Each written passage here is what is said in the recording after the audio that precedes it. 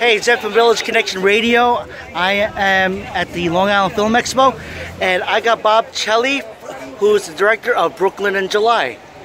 And uh, is this your first film, or? This is our third film, third short film.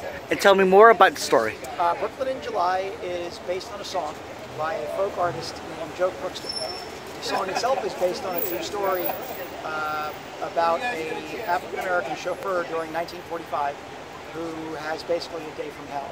Uh, it's about racism and bias in New York City, of all places.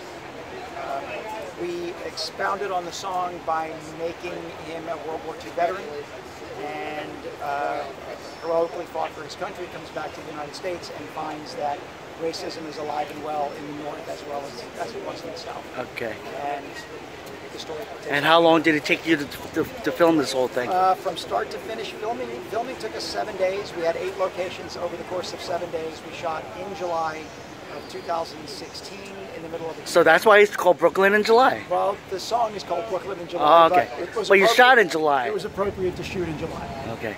And um, what time are you guys going to show it at the we uh, are showing Bellmore? here at one o'clock on Tuesday, One o'clock. the 18th.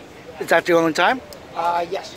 And if I wanted to go find this, is this, is there a website or I can Uh, you can go to delanocelli.com Okay. or you can punch in Brooklyn in July and it'll take you. to And I can find it. And you can find it. Okay. So I got Bob Celli at the Brook at the Long Island Film Expo, and have a great day. Thank you so much. Okay.